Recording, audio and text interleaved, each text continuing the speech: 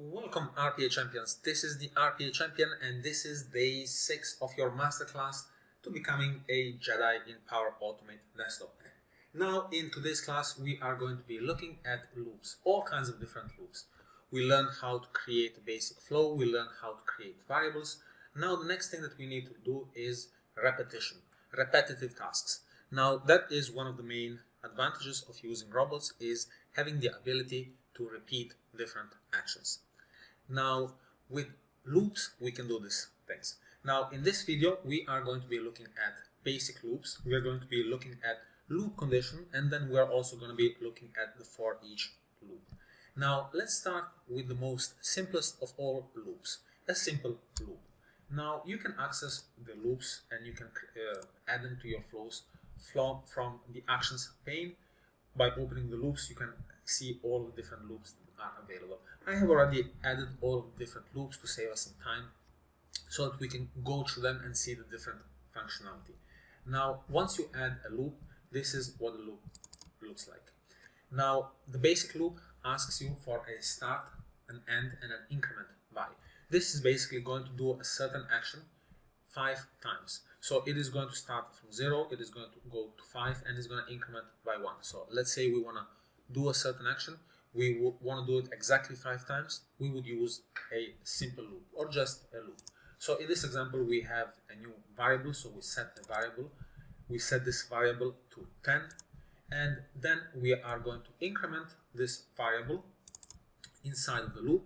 We are going to increment this variable by another variable. So new variable 2 and new variable 2 is going to be this same variable. So what we are going to do is we're going to do 10 plus 10 and we're going to save it in the same in the same variable and then we're going to do 20 plus 10 and so on and so on and so on. So this is let's see how this is going to work. So I will add a breakpoint here and let's run this process. A process with a simple loop. So as you can see, it's looping through the different steps. It is also, remember that here is where we see our different variables. We can see that uh, the different variables, how they got updated. So the new variable, this is the one that we set initially is 10 and the new variable uh, outcome, the one that we are setting inside of the loop is set to 60. Why to 60? Because we are adding 10 every time this uh, this loop goes through. So every time this loop completes, and this loop is going to complete five times, starting from zero, so it's going to complete exactly five times with an increment of one. We are going to do 10 plus 10, and then add another 10 to the 20, and so on until we reach 50, until we reach 60, excuse me. So, or until we have done this five times. So this is what a basic loop looks like. Uh, you can use this whenever you would like to do something or a repetition, but you know exactly the number of times that you would like to repeat this repetition. Alright, let's move on and let's learn about the loop condition.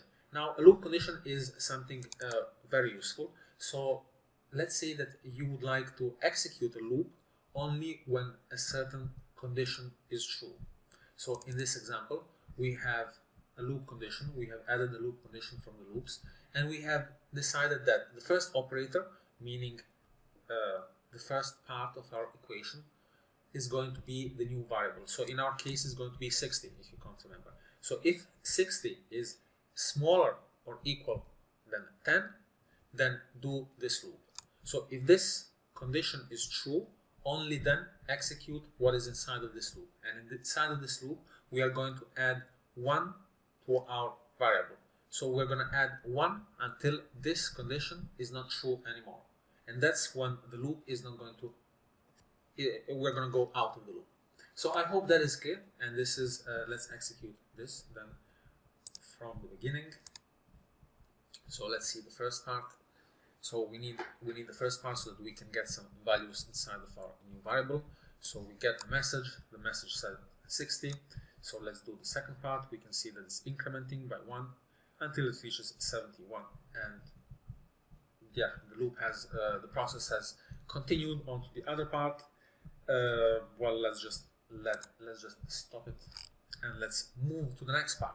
The next part is a very interesting part because we're going to be seeing the for each loop. The for each loop is very useful because it's going to allow you to iterate through lists and, uh, and objects and uh, data tables. So let's say you have a data table in Excel or you have a list that contains different values. So for example, in this example, we are retrieving all of the files that we have in a folder. We are going to go through all of the files in our folder. We're going to find the file that is a PDF and we're going to move that file outside of our folder. So let's see how we can do something like that. So we would add the get files in folder and we would get all of the files inside of my pictures folder. Once I get all of the files, I would add a for each loop. Inside of the for each loop, the for each loop is going to create, to this, is going to create the current item.